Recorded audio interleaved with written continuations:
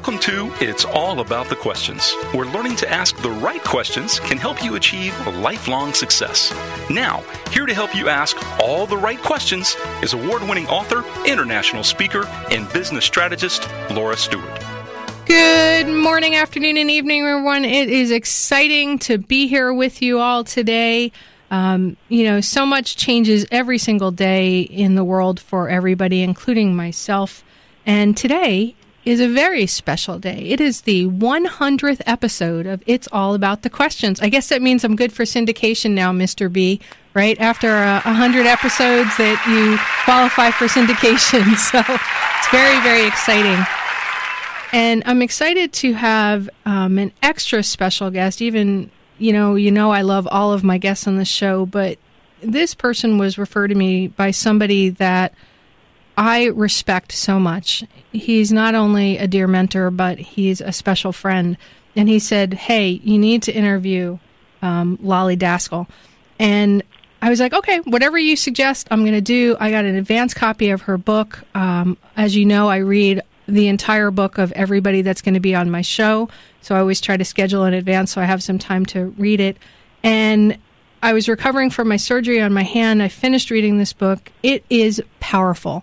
This book should be the top five books on everybody's bookshelf if you are a leader, if you have a business, or you want to just be a better human being on the planet. So please welcome um, my guest today, Lolly Daskal. She is one of the most sought after executive leadership coaches in the world. But beyond that, she has a message that everybody needs to hear. So, Lolly, welcome to the show. I'm so happy to be here and honored to be here. You know, it, we planned this so many months ago. Um, and you know, I've done lots of research on you as I do with with all of my guests. And the one thing that really stuck out for me was how much we both like to ask questions. As a coach, that's what I do. I'm the, you have to be very gifted at asking questions. And there's a, a quote in your book that really stood out I mean, I, it's completely dog eared. It's got circles and lines all over the place because it was just so powerful. I was reading it. But you said, within each of us are two competing sides, a polarity of character, but only one leads to greatness. I love that line. And I was wondering if you could expand upon what you mean by two competing sides and a polarity of character. Absolutely. So within each of us, we have strengths and we have weaknesses. We have things that we like about ourselves, things that we don't like about ourselves things that are perfect and things that are imperfect. And most of the time, all of us want to spend the time on our strengths. We want to spend on the things that are good for us. And what we don't realize is that even though we have this polarity, in order to be a human being, a whole human being, in order to do the things we are meant to do in the world, that means doing something impactful and doing something significant and making a difference, we have to embody and embrace both of these parts in order to unleash our greatness. So, how does somebody go about understanding those two parts? There was another line that I love from your book we are not just what we think, we are what we hide. Um, it's not something that most people think about with that whole competing sides that, that they're hiding something because people don't realize that they're hiding something. So in order to answer that, I want to talk about one of the archetypes because what it will do will illustrate two parts to that question. It will talk to us how do we recognize our gaps? How do we see which part is a greatness and which part is a gap? And then we can talk about how we hide. And so if that's okay with you, I would like to do that. That would be great. Let me just mention the title of your book. It's The Leadership Gap, What Gets Between You and Your Greatness. And this is sure to be a New York Times bestseller. I know it's just releasing now. Yes, it's now available for pre-sale and they get amazing bonuses. But let's talk about this archetype. Let's, and first of all, it's called the Rethink system. It's called Rethink because it stands for the seven archetypes and the first archetype I want to talk about starts with an R. The rebel, oh, excuse me, the first archetype is an R that is the rebel.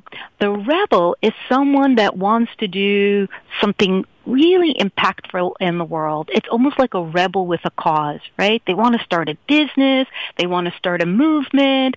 They want to create a product that nobody has. They want to do something in a very passionate way. But in order to make that happen, they have to have confidence.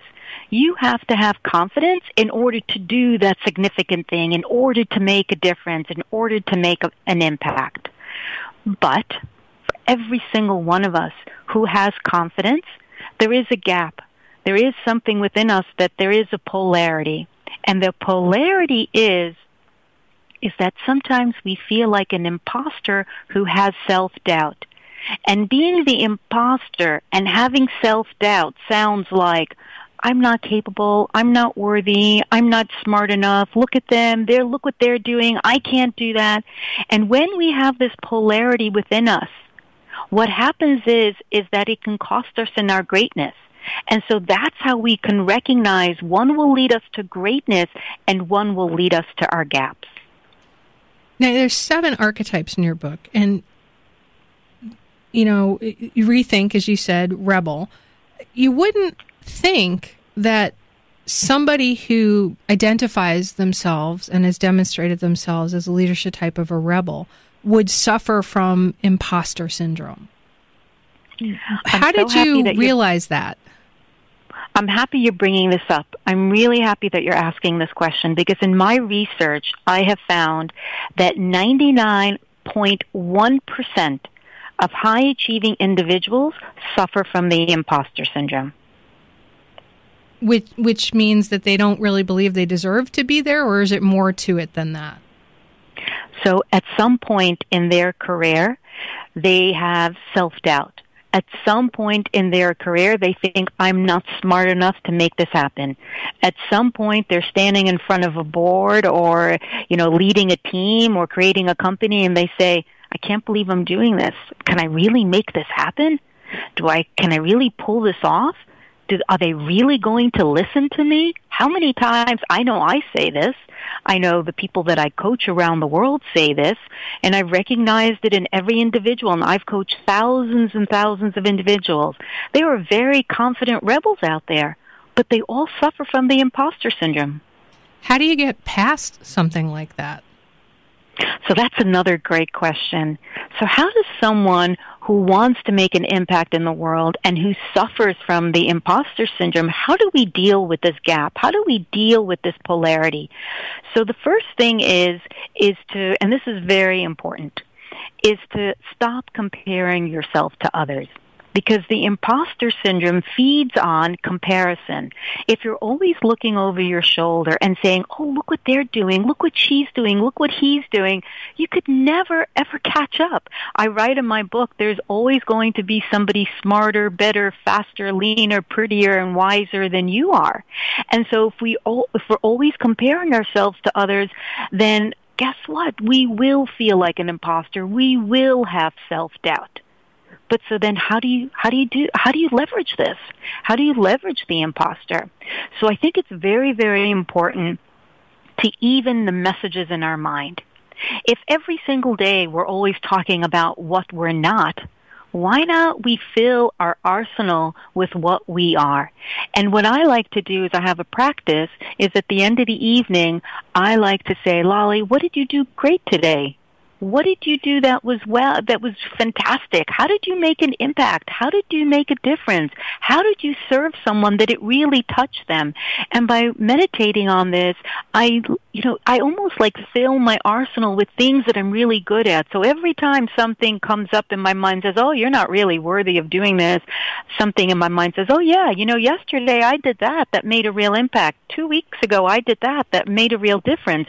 And so we almost have the polarity polarity of the negative and the positive in our mind. And so when it becomes negative, we can bring something positive up. So, based on the phrasing you, you just used, I'm thinking that you yourself have personally identified that you have at times had the imposter syndrome. Absolutely. Absolutely.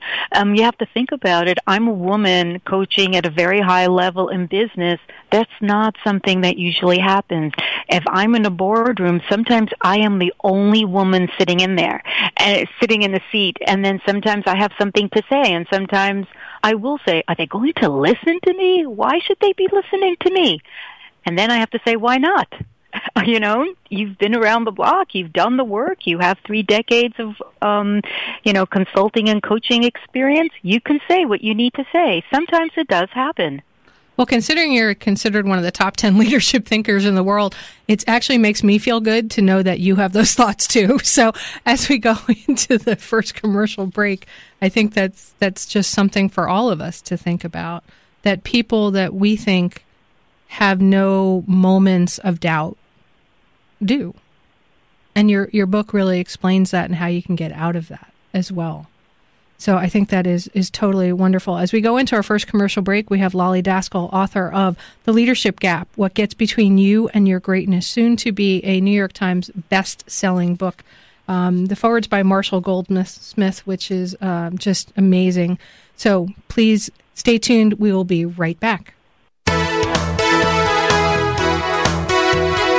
Success comes from not only what you know, but also who you know. Welcome back to It's All About the Questions with award winning author Laura Steward.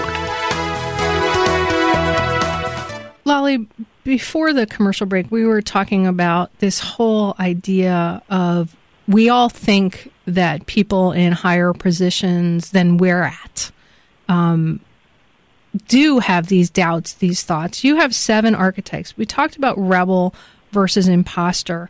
Um, there are several others explorer, truth teller, hero, inventor, navigator, knight. When I was reading through the book, I saw myself at different points in different aspects of my career feeling like there were several that I was embodying, along with way more shadow traits than I'd probably like to admit. Do people shift in and out of these different leadership roles and gaps? I'm so happy you asked that question because I think a lot of people are going to be thinking the same thing. You see, we have been conditioned by some of the best practices out there um, that will teach us we're only one thing. We have Strength Finder, we have Myers Briggs that say, you know, you are this. And what is different about this book is that these seven archetypes are situational. That means at any given moment, we can ask ourselves, which archetype do I need to be in order to stand in my greatness and not to lead from my gaps? So if you me- if you memorize the rethink system, you could ask yourself, do I need to be a truth teller right now or will I maybe come across as a deceiver? Do I need to be a navigator or maybe I will come across as a fixer? So in any situation, you have a choice. What if somebody has a stronger use the word strength in an area than an other and they they feel oh I'm I can only stay here like I can and everybody the there's lots of resources up with, with Lolly's website and within this book, which everybody should get. Um, can you just stay in one, or does that end up hampering your ability to lead? So it's a great question again because it doesn't really work that way. Let's let's talk it through so we can understand it. Let's say you're in a meeting and you're talking to your team right? The leader needs to be confident. They can't lead from the imposter and have self-doubt. They need to know what they need to talk about, but they need to talk about it with confidence. But then the leader needs to be able to set direction in a way that hasn't been done before, in a way that maybe takes people into uncharted waters. So what they need to do is they need to be the explorer who fuels their intuition because if you don't fuel your intuition, as we talk about in the book, you might be exploiting your team and manipulating into doing things that you want. You might want to control them. And so as you can tell, the leader then needs to be a truth teller. They need to tell the whole truth and nothing but the truth because then your team will think that you're withholding information and you'll become suspicious. But then maybe the leader needs to tell them some really bad news, so he needs to be the hero and be courageous. Otherwise, he'll come across as a bystander who's filled with fear. If you don't tell your team exactly how things are, then your team is not going to understand what needs to get done. So you can't be the gap and be the bystander. And this is how it works. You can work through all seven archetypes, and in one meeting, you need to be able to pivot and cultivate and embody all of these seven archetypes. I don't want to go through all of them right now because we're going to be missing out the wealth of information that comes with each one of them, but that's how this system works. We can, we need to be all seven at all times. Um, do we lean in maybe to being very confident? But how are you confident? Where are you confident? Why are you confident? That has to do with the other archetypes. When you were doing your the executive coaching that you did. I mean, you've done this in 14 countries, 6 languages, hundreds upon hundreds of companies. You have your own company lead from within. What was there a moment when you realized there that you were dealing with say 7 similar traits, archetypes in people. Was there any one moment, or all of a sudden it just was, all right, these are what I'm seeing? So, one of the things that I want to backtrack a little bit is that I'm uh, a Jungian. I've studied everything from Jung, and he's taught me that within us there is a polarity. You know, that we have the dark and we have the light. And as Jung calls them, he calls them shadows. So one of the things that I brought to coaching that is different than other coaches out there is that I was looking for the parts that were great within my clients, but the parts that, that maybe they were hiding or parts that were causing shadows within them and causing them to have gaps. So as much as I was coaching, I was also listening really listening to the parts that they were struggling with. And then I found something really, really amazing that it didn't matter what country, it didn't matter what gender, it didn't matter, you know, what their position was or at what level they were. Within each person that I was coaching and in conversations I was having at conferences, these seven archetypes existed within everyone. Did I name them and articulate them in a way that maybe wasn't as clear when I had those aha moments, maybe. But once I started to take notes and once I started to do research and once I started to create a harmony between each one of my coaching clients, I saw that every single person had this within them. Okay, so you know, there's like my wheel, the wheels of my brain are spinning like crazy here. Was there one archetype that you saw first?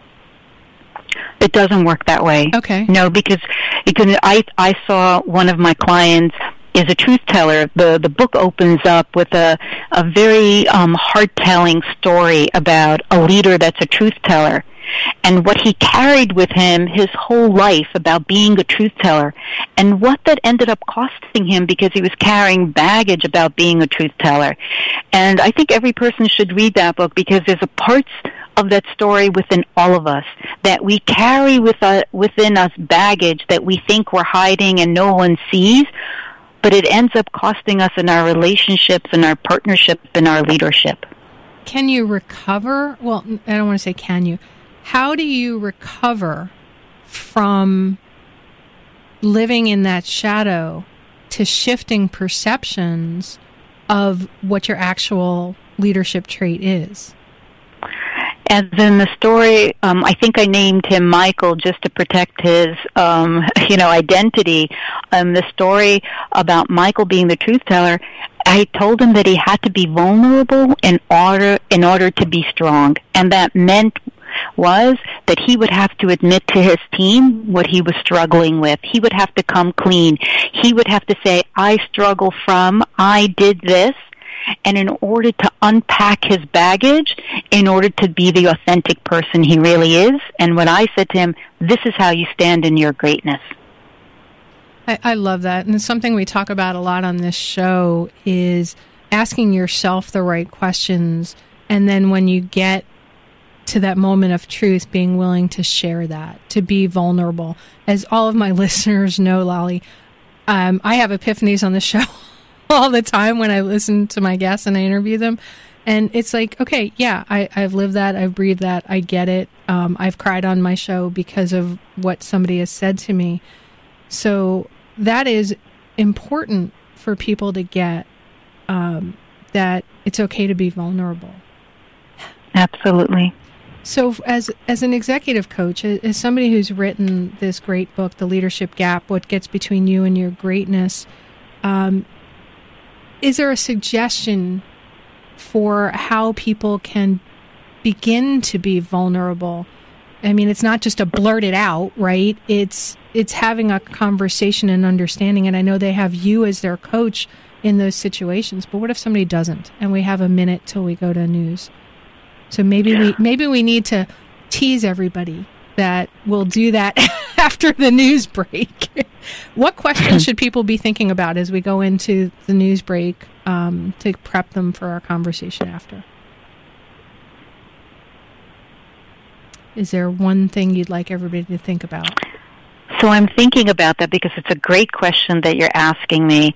So the first thing that I would ask people to think about is what are they trying to hide from others? I love that. So what are you trying to hide from others? You said the first question. Is there another one? And then after you've answered, what are you trying to hide from others? Do you really think that no one sees it? Oh, I love that. So what are you trying to hide from others? And do you think nobody really sees it? We'll be right back with more from Lolly Daskal.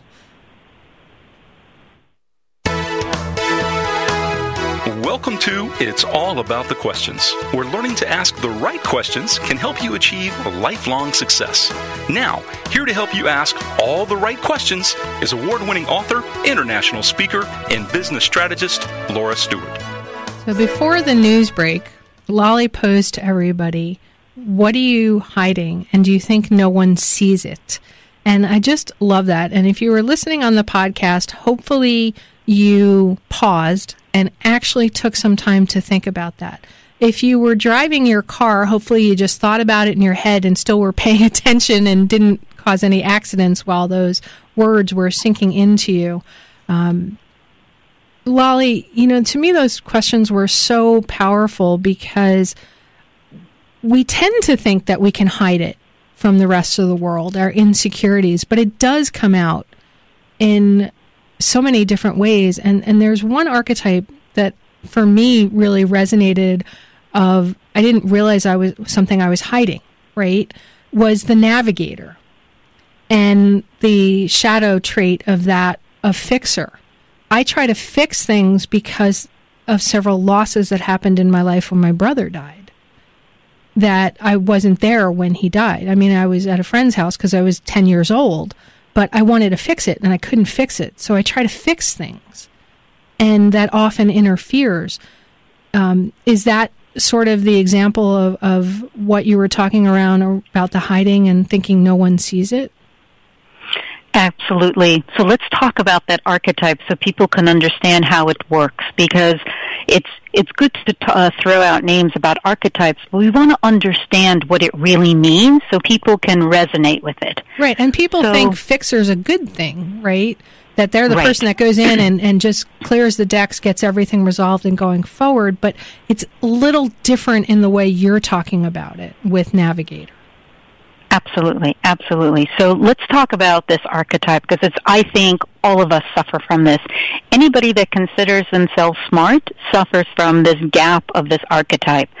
So in order to stand in our greatness, we have to learn to be a navigator. A navigator is a very smart individual that people come to when they have problems, when they have challenges, when they need something to be fixed. And they come to a navigator and they say, oh, I have this problem all great leaders are always having people come at them and say, can you help me? Can you help me? Can you help me? But a navigator has to have two very important traits. They have to know how to listen and they have to know how to ask open-ended questions. Because when you're a navigator, even though you know where you need people to go, when you ask them open-ended questions and when you listen to them, you empower people. But for every navigator that's out there, there is a gap. And the shadow part of the navigator is the fixer who comes across as arrogant. And the fixer sounds like this. You have a problem? Oh yeah, I've had that problem before. Do this, do that, do it now. And why didn't you do it that way yesterday? I know how to solve that problem. You just need to listen to me. Most people, when they come to you with a problem, they basically just want you to listen. When you jump in and you want to fix it, you're just coming across arrogant and you're disempowering people. So the navigator empowers people. The fixer disempowers. The navigator is about our greatness and the fixer is about our gaps. Which one do you choose to lead with? That's a question we can ask ourselves. It sounds like there's a, a fine line, but a big line. It, and I know that that sounds kind of crazy, but it's easy for a navigator to shift into fixer, yet at the same time, the difference in the two is dramatic. So there is a way to tell which you need to be. So if someone comes to you and says, I'm suffering from a problem or I have a problem, the first question you need to do after you've listened is, do you want my help? Most of the time they're going to say, no, I just really want you to listen and then you need to listen. It's almost like you have to draw a line in the sand. The need to be a fixer comes from wanting to be validated, appreciated, and recognized. And so we jump in. We don't even ask if people want help. We just give them help. So we have to ask. We have to ask that wonderful question, do you want my help or do you want me to listen? And then if they say they just want you to listen, you just really have to hold yourself back in.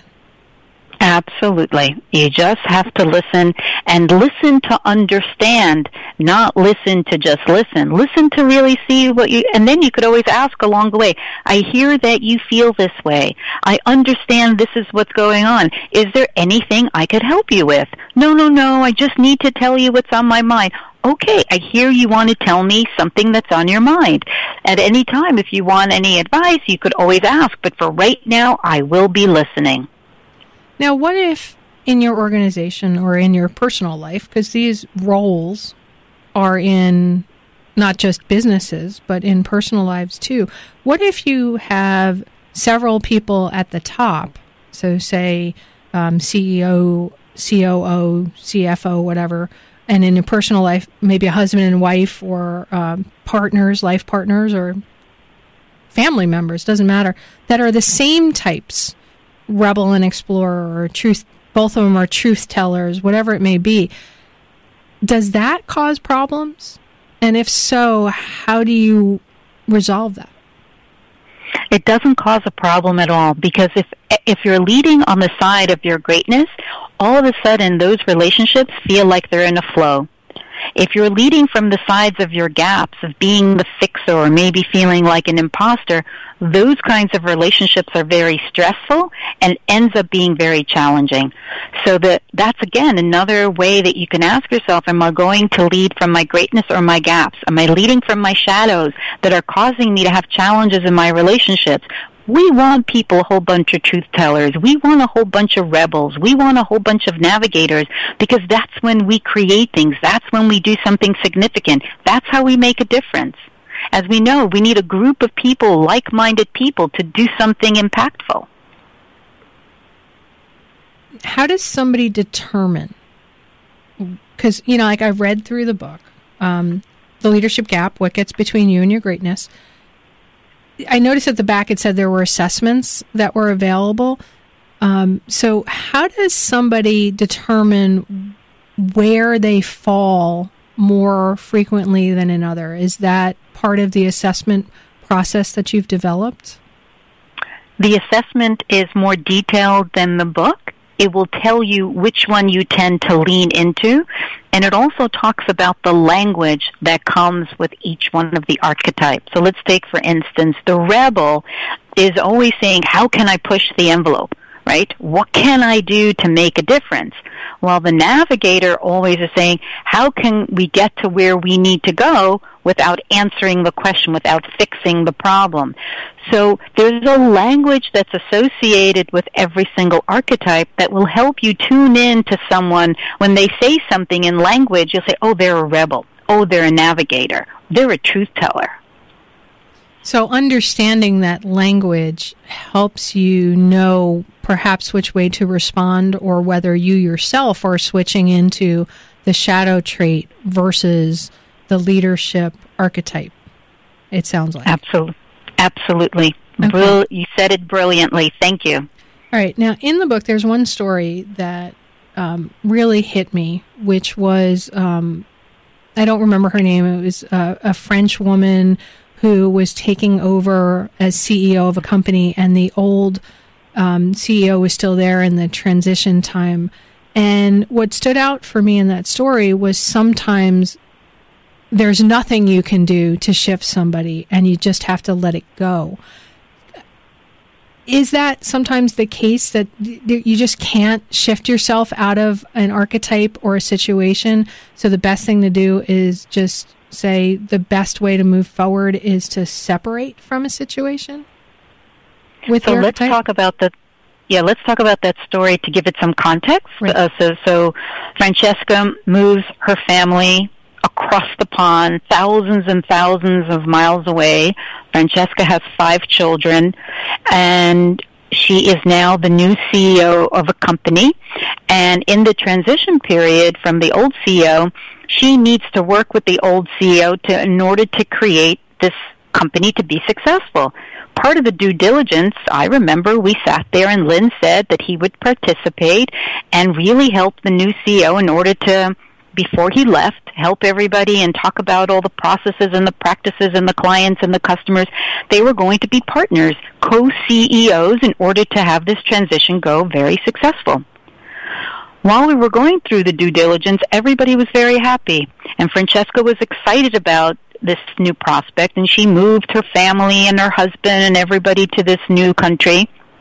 And then when she gets there, right after the you know the signatures are signed on the deal and Lynn gets lots and lots of money, all things start to fall apart. All of a sudden, Lynn is excluding Francesca. Lynn is making fun of Francesca, disrespecting her in meetings, and just avoiding her and isolating her. And Francesca is really upset. And she calls me up and says, I don't know what to do. And I said, well, go find out what's going on. Call a meeting with him. He says, okay, I'll have a meeting with you. But then he cancels the meeting. And then she says, I don't know what to do. He's ignoring me. And I say, okay, invite him and his family and his, his wife over to dinner to meet your family and your husband. And so they all get together and everything seems to be really great. And then they go back to work and everything is great for one week, but then everything falls apart again. It just seems Lynn does not want to participate in co um, you know leadership and doesn't want to help her in the process and and definitely doesn't want to be part of the transition. And so what we see is Lynn is calling in all of his top people and is talking them behind her back. And at this point I said to Francesca enough is enough. We have talked to him, we have invited him, we have tried to communicate, we tried to listen, we've done everything. But now it's not working. So I said, you know what? He's got to go. And the people that um, are disloyal to you have to go because loyalty for me is either black or white. Either you're loyal or you're disloyal. You can't have something in between. Okay, and that's and we perfect. Have- We're going to go into the commercial last commercial break with that. I want you to think about that everybody. Are you loyal or are you disloyal? Who in your life might be? And that's a tease because there's a lot more to it than that. We'll be right back. Success comes from not only what you know, but also who you know. Welcome back to It's All About the Questions with award winning author Laura Steward. All right, so Lolly, you, we were talking about that story with Francesca and Lynn and um, loyalty and disloyalty being black and white. Which archetype and shadow was Lynn in versus Francesca? So that's a great question because Francesca is about being a knight. A knight is all about serving people, protecting people, being loyal to people. And what we found was that Lynn was being a mercenary. A mercenary is all about serving self. And a mercenary always says, what have you done for me lately? While a knight says, what can I do for you lately? And it was Francesca, who was really leaning out, leaning in to Lynn. What can I do? How can I serve you? Let me get to know you. I want to protect you. I want to be loyal to you. But it was Lynn that was being the mercenary that was leaning out and saying, no, this is about me. It's all about me. You need to serve me. My people need to be with me. And that's what was causing one to lead in their greatness and one to lead from their gap.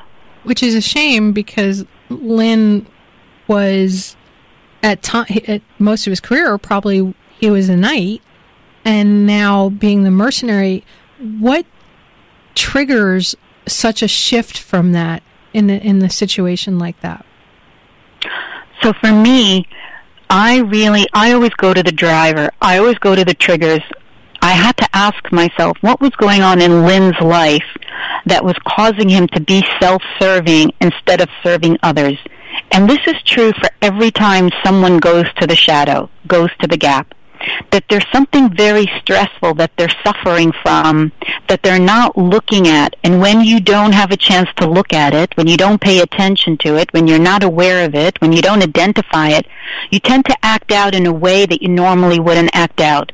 For 30 years, Lynn was a knight. But when somebody was going to take away his baby, even though he got billions of dollars, he didn't like the idea of giving away what he had given birth to, and he was acting out.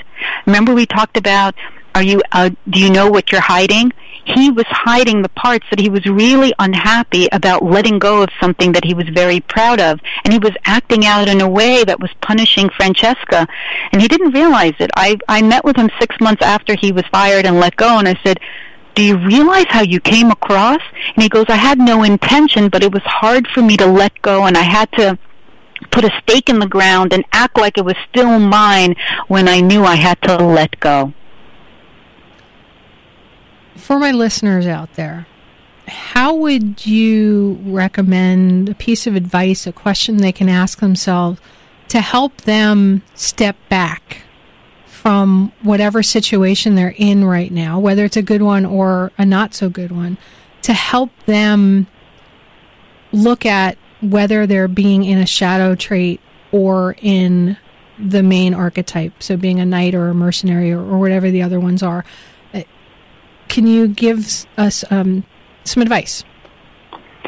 So, this is a very interesting topic, and I don't know if we have a lot of time for this, but when we are leading from our greatness on all our senses, emotionally, physically, spiritually, there's a certain way we feel. We feel we're in a flow. We feel we're on top of our game. We feel like invincible. We can do anything. When we're leading from our gaps, we tend to have stomach aches, headaches, we feel anxious, things don't make sense, we feel stuck, we feel bewildered, we're wondering why things aren't connecting for us. When those things start to take place, when you start to have these symptoms, the question is to ask yourself, what parts of my gaps am I leading from? Because your greatness always makes you feel good, but your gaps make you un- feel I'm not I'm not well. Something is off. Something is wrong. So that's an instant tell in order to, to ask yourself, do I feel good? Do I feel unhealthy? Do I feel, you know, that, am I in my flow? Am I out of my flow? Those are kind of questions you can ask yourself. You have um, another quote in your book. I call these quotes because you wrote them and I love them. If you get the wrong answer to the right question, you usually have a chance to fix it. But if you get the right answer to the wrong question, you're sunk. I love that because I'm my my phrase that I tell people is the right questions can change your life, and it's not about the answers; it's about the questions. Why? Right, absolutely. Why that statement? Why? Do, I know why I feel it's so important to ask the right question. But as we are starting to close today, why do you feel the questions matter? I think questions, somebody, you know, as a coach, I always ask questions and what I find is, is that people feel empowered by questions and they come to answers that they know deep inside need to be the answers. When you don't have a good question, you can't find the answer within. And I, I recently said, I was on another podcast and they said, what is it like for you to be someone to be answering questions all of a sudden? I said, you know, it's very, it was an interesting experience because being able to answer a question means I'm tapping into the wisdom that I have and then I'm revealing it in a form of knowledge. And it's very empowering. I love that. Uh, totally a tweet out. If you don't have the right question, you can't find the answer within. I love that. Um, share how people can find out more about you and where they can get your soon to be New York Times best-selling book, The Leadership Gap: What Gets Between You and Your Greatness. Thank you for that endorsement. They can find it at the leadershipgapbook.com. Hurry today because I have some really great bonuses and gifts that you can get if you pre-order the book and you can get the assessment which most people have to usually pay $97 for. So the leadershipgapbook.com. I, I love that. Um, and Lolly, you are considered one of the top leadership thought, um, one of the top leadership thought leaders in, in the world. And you don't get there overnight. Your journey has been a long journey. For those of my listeners who perhaps are just starting out or are comparing themselves to others, what can, what would you like to say to them to help them move forward in their journeys? So there are two things I would like to say. The first thing is when I first started out, the only thing I had in mind was to be perfect. I wanted perfection. I wanted to be, you know, I, I, I laugh about it because I didn't realize it then, but there's no such thing as perfect. So I caused myself a lot of stress. What I found was that instead of pursuing perfect, I should pursue excellence. And that little pivot was a game changer for me because pursuing excellence means that I have to show up in the best of what I have to offer. And that I can do. Showing up and trying to be perfect, that I can't do. So that was a game changer for me. And the second thing that I really want to share with everyone is, is that I know this for a fact, that greatness lies within everyone. It's a destiny that's available to everyone, but we just have to choose it. And I hope that everyone listening today chooses it right now to stand in their greatness. And one thing I know for sure, in order to stand in your greatness, everybody needs to read your book because I did not realize the that fixer was not the navigator. I didn't have the terms for it, but I didn't realize it till I read the book. So You've given me major ahas that have already begun to shift my life in so many ways, and I want that for all of my listeners. So thank you for standing in your greatness and writing this book because it's not a small thing to write and publish a book. Thank you so much. This was a great conversation. And one thing is, I've done a lot of podcasts, but you ask great questions. So thank you for that. Oh, it's my joy. Thank you. I'm, I'm honored um, for that. And I, I believe in this book so much. I'm actually going to give away a copy of your book to one of my listeners who tweets out to me at, at the Laura Steward or emails me because some people aren't on Twitter, Laura at laurasteward.com, and tells me what one new question you're asking yourself now because of today's show. All right. So if you're listening to this on the podcast, still send it to me anyway, because you never know what I may give you anyway. But uh, Lolly, thank you so much for being with us today. Thank you so much. It was a privilege and it was an honor. And I know you're sitting in a hotel room somewhere because you're doing some work today. So I appreciate that. And um, everyone, have a, a fantastic day. Ask yourself, what are you hiding today? And do you think no one sees it? Because standing in your truth, standing in your greatness, but most of all, standing inside the truth inside yourself, you know you're not in alignment somewhere. Everybody is at some point in their life. You can choose today how you want to live the rest of your life today.